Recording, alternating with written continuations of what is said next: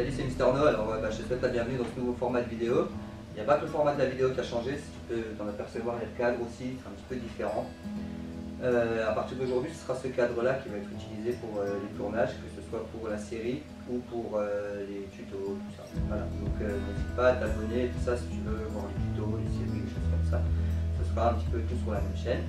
Donc oui, prochainement la série sur la vie de mes cheveux qui va être diffusée à la fois sur YouTube, sur Facebook Watch et sur IGTV.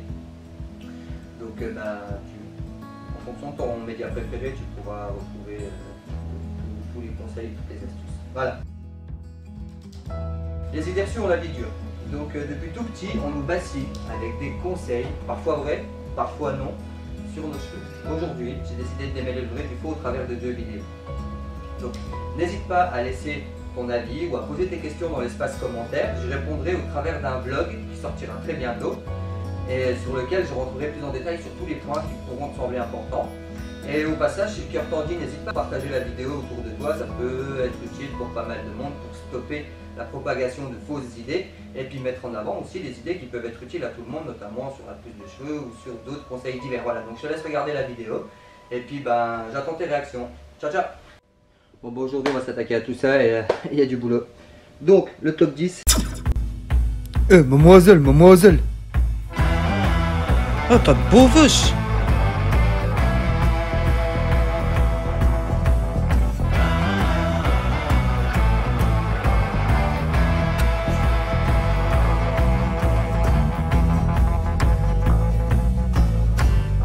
dans ce top 10 des idées reçues qui sont fausses, euh, à la dixième position, on a mettre énormément de soins améliore les effets de mon masque.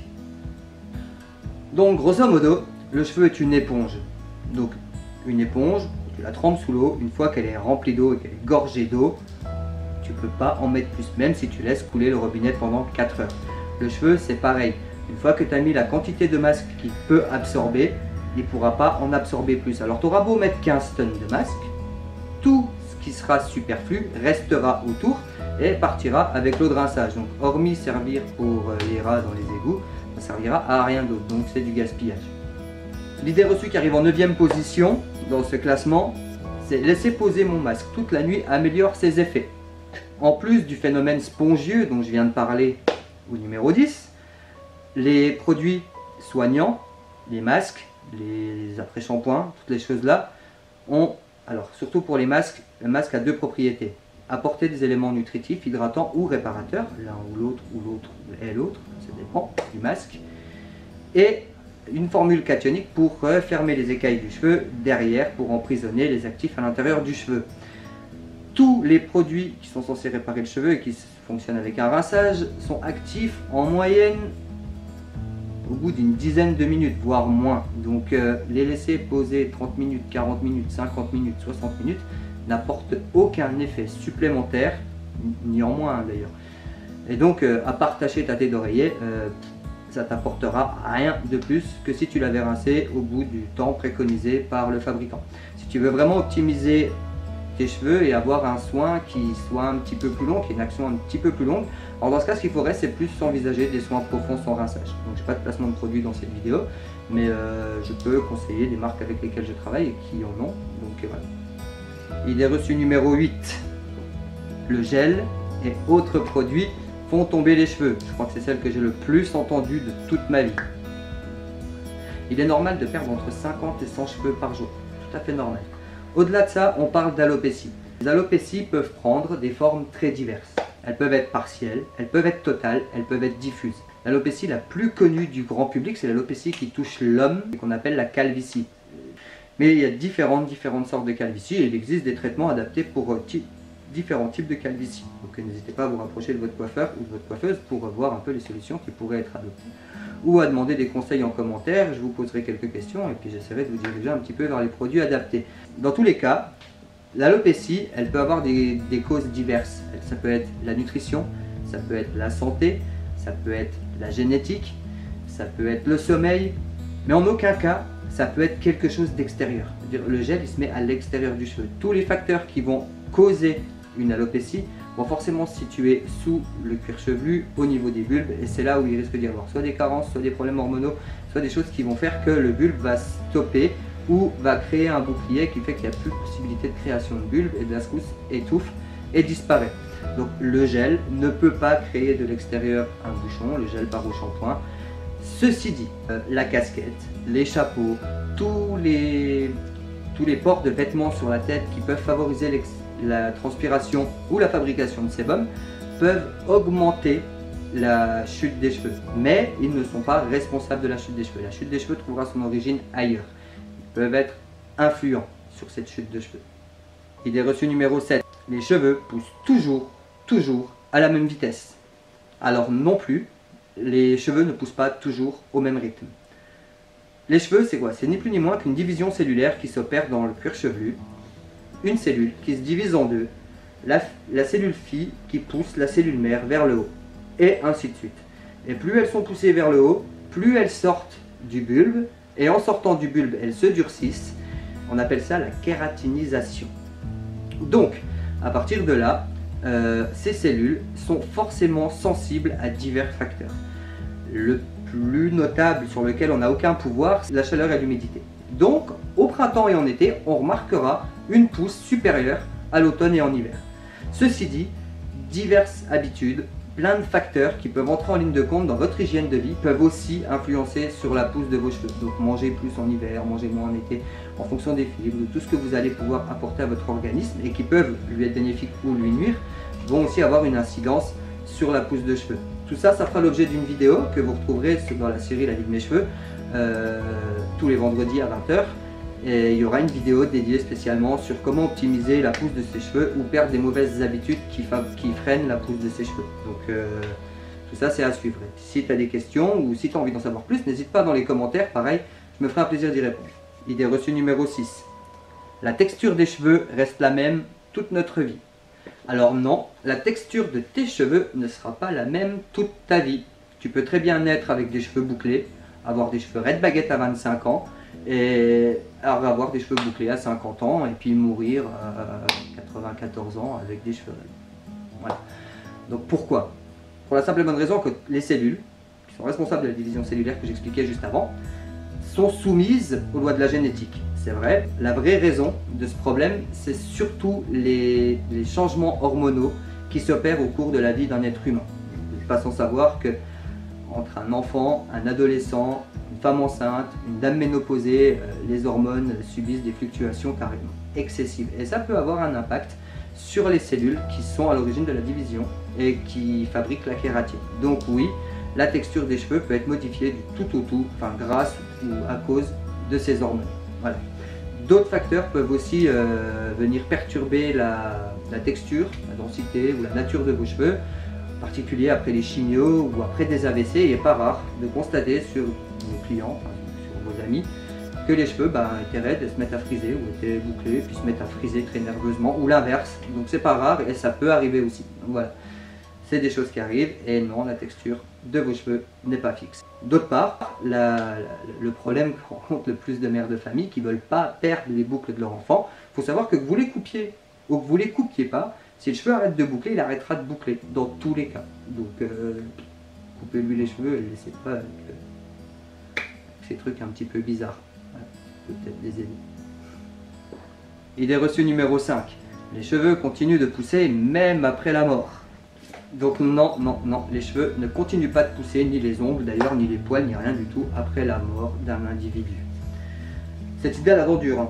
Mais euh, ce qu'il faut savoir, c'est que ce qui fait pousser le cheveu, comme je l'ai dit dans les points précédents, c'est la division cellulaire. Et pour qu'il y ait une division cellulaire, il faut que la cellule soit vivante. Hormis quand un être humain meurt, ou un animal ou n'importe quel être vivant meurt, plus aucune de ces cellules n'est vivante. Donc euh, il ne peut plus y avoir de division cellulaire, donc bah, forcément le sang ne circule plus, euh, le cœur ne bat plus, nourris, il n'y a rien qui permet aux cellules de pouvoir continuer à vivre. Donc non, il ne peut pas y avoir de pouce de cheveux ni de pouce d'ongles après la mort. Ce qui fait que quand on ouvre un cercueil, on trouve les cheveux, c'est que le cheveu est imputrescible. Ça veut dire qu'il ne pourrit pas. Donc vous pourrez, déterrer un corps 500 ans après sa mort, vous trouverez toujours les cheveux. Mais ce pas parce qu'ils ont poussé après sa mort. On rase pas les cheveux d'un mort quand, quand on l'enterre. On l'enterre avec ses cheveux. Donc ses cheveux restent. Voilà. Donc non, le cheveu ne pousse pas après la mort. Idée reçue numéro 4. Les cheveux poussent plus vite quand ils sont coupés. Les cheveux ne poussent pas plus vite quand ils sont coupés. Non, c'est une fausse idée. C'est un peu de la faute des coiffeurs si la grande majorité des gens pensent que les cheveux poussent plus vite quand on les coupe. Parce qu'on leur dit que pour avoir des beaux cheveux longs, il faut les couper tous les 3 mois. Si on coupe les cheveux tous les 3 mois, c'est parce que le cheveu pousse en moyenne d'un centimètre 5 par mois. Et comme ça, tous les 3 mois, on coupe un centimètre, ce qui fait qu'on coupe les pointes qui s'abîment. Mais en coupant, on n'accélère pas la pousse des racines. On améliore la qualité des cheveux qui poussent. Donc la secousse, il faut savoir qu'un cheveu, quand à force de s'abîmer, perd de la matière, la matière s'effrite et donc euh, ben, le cheveu rapetisse entre guillemets puisque la matière disparaît à force de, s'effriter et de s'échauffer. En coupant ça, on empêche cette on empêche le cheveu de se démonter par lui-même, on l'empêche de s'abîmer et de disparaître au niveau des pointes d'être toujours fort. Donc la secousse, on améliore sa qualité en poussant. Mais on n'accélère pas la pousse du cheveu. Euh, mais si tu veux avoir des cheveux longs, brillants, beaux et forts, je te conseille quand même de les couper tous les maximum 3 mois, 1 cm. Tu pousseras 1 cm 5 par mois, tu recoupes 1 cm, tu auras quand même gagné 3 cm. Voilà un petit peu l'idée. Mais ça n'accélérera pas la pousse de ton cheveu. Idée reçue numéro 3, s'arracher un cheveu blanc en fait pousser beaucoup plus. Celle-là, même avant d'être coiffeur, même quand j'étais jeune et tout, je ne l'ai jamais compris. Arracher un cheveu blanc en fait pousser 10. Pourquoi pas? Alors dans ce cas, la petite mamie qui a envie d'avoir toute sa tête blanche, eh ben, elle a juste à s'en arracher un petit peu comme ça de temps en temps et puis ils vont devenir blancs tout vite. Non, non ça marche pas. Malheureusement, ça ne marche pas. Malheureusement pour elle, tant mieux pour les autres. Ce qu'il faut savoir, c'est que le phénomène de blanchiment des cheveux, nous, coiffeurs, on appelle ça la canicie. Juste pour le savoir. La canicie, comment elle apparaît? En fait, c'est chaque cheveu a son organite à la base, et cet organite s'appelle l'appareil de Golgi. Cet appareil est responsable de ce qu'on appelle la mélanogénèse, la fabrication de la mélanine.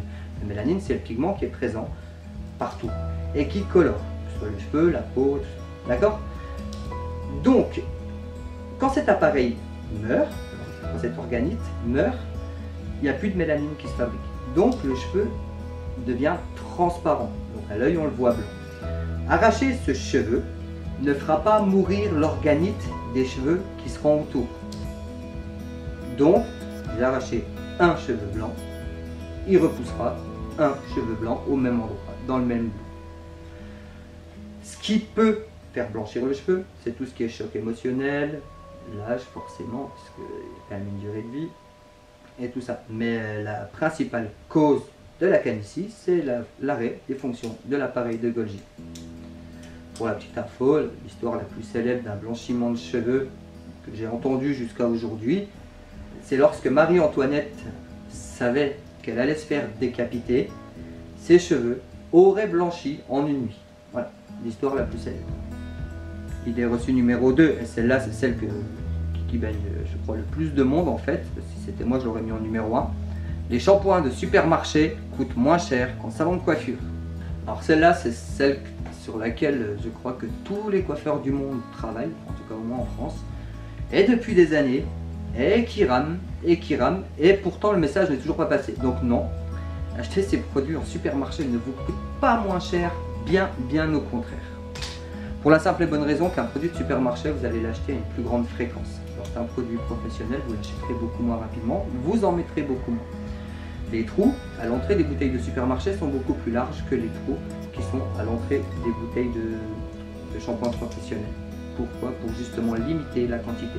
De plus, quand on investit dans un produit, que ce soit un parfum de luxe, un shampoing de luxe, quelque chose un petit peu plus luxueux en tout cas, on a tendance à faire un peu plus attention et à moins gaspiller. Alors que quand on met 3 balles dans un shampoing de merde, euh, on s'en fout, on y va euh, gaiement et il faut en racheter toutes les deux semaines. Donc vous calculez vos 6 euros de shampoing remis toutes les deux semaines, ça reviendra déjà à l'achat plus cher que si vous mettiez 15 euros dans un vrai shampoing, et encore 15 euros, vous avez déjà quand même une bonne gamme de shampoing chez un professionnel.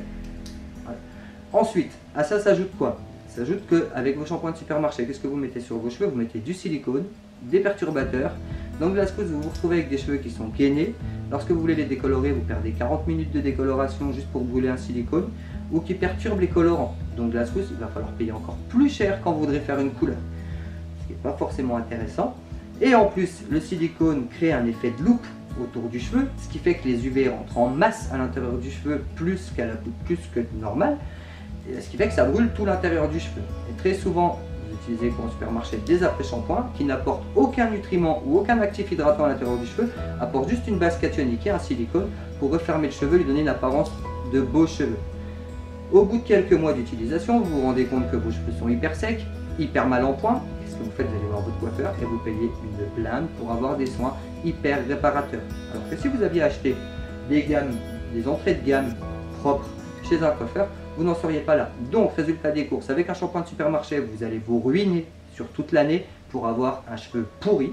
Alors qu'avec un shampoing professionnel, vous allez lisser votre budget sur l'année, vous aurez un budget bien en dessous, enfin bien en dessous si on compte les soins réparateurs et tout ça que vous n'auriez pas dû acheter, les problèmes de couleur et tout ça, vous serez bien bien en dessous et vous aurez à la fin de l'année un cheveu propre, bien, sur lequel vous pouvez faire ce que vous avez envie et comme vous avez envie. Donc non, le shampoing de supermarché est beaucoup plus cher qu'un shampoing chez le coiffeur.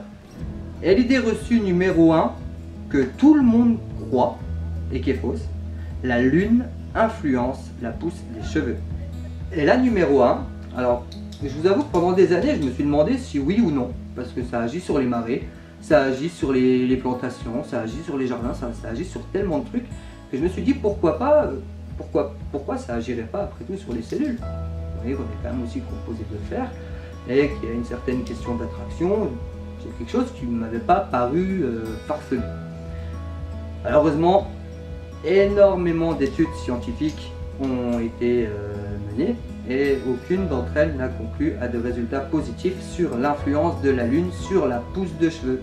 C'est un mythe de grand-mère qui a la vie dure. Bon après, si ça peut permettre de créer des zones d'affluence dans les salons de coiffure euh, les jours de, pleine lune ou de lune descendante, pourquoi pas, hein, que, autant y croire, mais il faut savoir en réalité que la lune n'a aucune influence sur la pousse des cheveux et sur la division cellulaire dans son ensemble. Bon, et eh ben voilà, je te remercie d'avoir euh, bon bah je te remercie d'avoir euh, regardé ce top 10 jusqu'au bout. Moi, je te donne rendez-vous vendredi prochain pour la deuxième vidéo, le top 10 des idées reçues qui sont vraies. je te remercie d'avoir regardé cette vidéo jusqu'au bout. Euh, j'ai qu'une chose à te dire, c'est que bah, si ça t'a plu, lâche un pouce bleu, ça fait toujours du bien. Mets un commentaire si tu as des questions, des suggestions, des avis, des choses à dire. Je répondrai dans un blog dédié exprès à cette vidéo. Ben, prends bien soin de tes cheveux et à bientôt. Ciao, ciao